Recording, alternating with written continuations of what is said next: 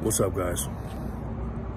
Real quick, I got a quick story to tell you. I had a friend of mine, good friend of mine.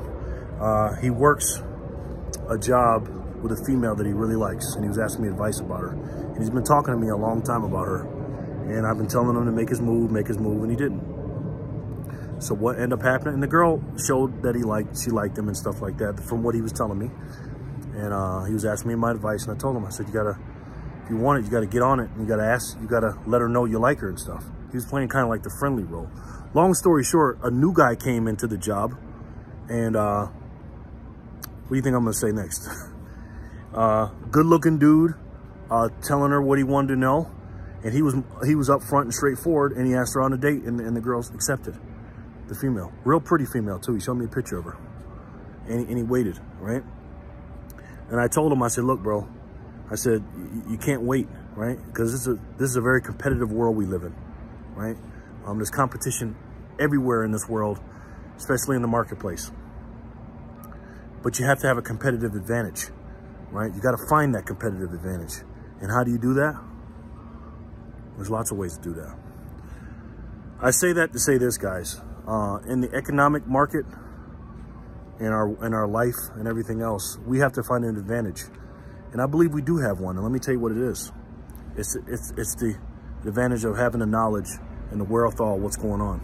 First of all, is silver, uh, gold, platinum, Bitcoin stackers, whatever you guys, your flavor is. Um, we have an advantage because we know that silver and gold is the only true money in the world. We know that. The general population doesn't. They don't know what a you know, what a Bitcoin is and stuff like that. Some people do a little bit, but they don't understand what a real hard asset is like silver, gold, and platinum. They don't know that, and you do. That's the first thing that you have an advantage over the general po population. The next thing is you know something's wrong in the world today. We know that there may be some kind of civil something going on because there's so many differences right now with the with the with the jab and people that don't wearing the mask, not wearing the mask, people that support Trump that don't Black Lives Matters versus Blue Lives Matters, Republicans, Democrats, blacks, whites, feminists versus males, you name it. It's just, they're doing everything they can to what? Divide and conquer. We talked about that. So that's another competitive advantage that you have that the other people don't. Also, you guys know that we're in the everything bubble. You guys know it. What's the everything bubble? Everything is inflated. Look at the car market.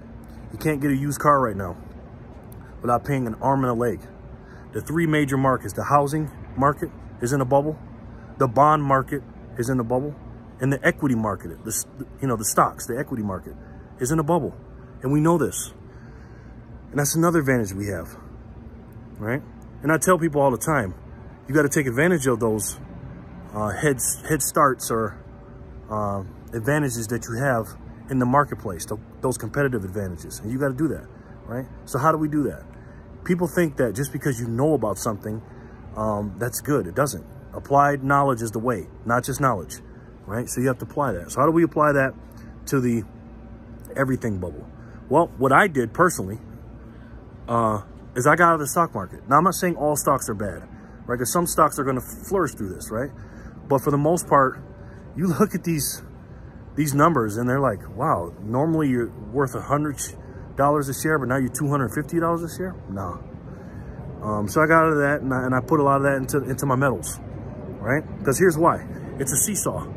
Once this bubble pops in the housing market, because there's no way I'm going to buy any cars, uh, any, any, any houses, or any stocks right now when the price is high. Because remember, um, I'm a value investor, so are you.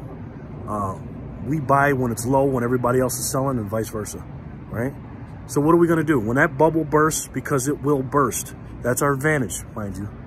Uh, what we're going to do is we're going to sit back and the and the, the cash that we have on the side, the dry powder, and our precious metals, we're not going to sell them all, but the precious metals, when this bu bubble pops, the precious metals going to go down too. We know that, just like it did in March.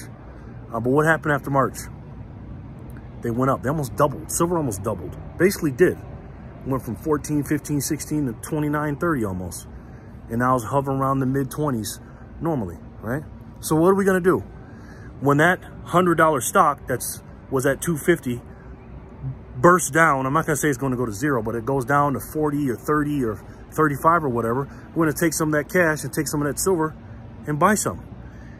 If a house is worth 100 grand and now it's at, on the market for 280,000, we know it's not worth that. And then the, and the market crashes and it goes down to 60,000 bucks, we'll buy it because we know it's gonna be worth more later on. We buy, thing at a dis buy things at a discount, but we use our silver and gold, which will go up in value, by the way, after a while, to purchase those real assets that we just talked about. That's the advantage that we have, guys. My friend, I love him to death, but he didn't take advantage of his of his competitive advantage. And what was that advantage? He knew her first. She liked him. Uh, I think she was waiting on him to take make a move, but he didn't. He didn't. He just sat back and chilled. Even though he knew that she liked him, he didn't take it. He didn't take advantage. So then somebody else came in and swooped it up. Uh, if you don't buy more silver and gold, if you don't get out of the stock market, if you don't sell your house while it's high right now, um, you're not taking advantage of the advantages that you know you have. If you don't stockpile the things that you need just in case something happens, mind you, because remember, your competitive advantage, if you know that a crash is coming or SHTF hits the fan, you can get your stuff now while it's cheap and you don't have to worry about going into the stores when it's all empty and everybody else is going crazy. That's your competitive advantage, right? But like my friend now, he's stuck because he's like the guy who didn't prepare and, and get the canned foods and the generators and all that. Now he has no food. He's stuck at home in the dark. Don't have anything to protect yourself like Mr. Wesson and Mr. Smith and not in that order. And now that guy swooped in and took that girl from him. And I say that to say this, don't let that happen to you, right? Don't be like my friend and, and didn't take advantage of his uh, competitive advantage. Uh, I know you guys will do that. Uh, we got to, the way we do that is we got to keep on stacking, right? Like I said, you stack the knowledge and you stack all the essentials you need and keep being smarter about what's going on here, all right? It's almost like a, a replica of, of 1929, uh, the Great Depression, and the 2008, 2007, 9 housing crash, right? But I'm gonna tell you something, this is gonna be more like the Depression, maybe worse. I, I truly believe that, man.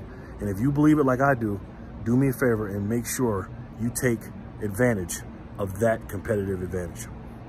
All right, guys, let me know in the comment section below what you think about this video. What are you gonna do?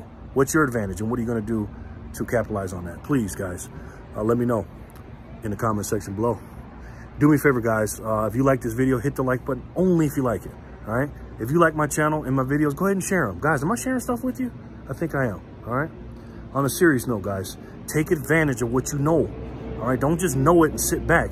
Do what you got to do every single day, all right? If you got to run around and pretend, even, even some days for two days, you got to pretend like there's no power and stuff. What are you going to do? Really, do it, all right? And get your family everything prepared, just like firefighters do. They pretend like there's a fire. So when it, and they practice really hard, just like teams do, so that when the game time comes or the real situation comes, you'll be ready. All right, please do that for me, guys. And let me know in the comment section below what you guys are gonna do, all right? You guys have a wonderful uh, evening or day whenever you watch this, and I'll talk to you guys soon, all right? Peace and love.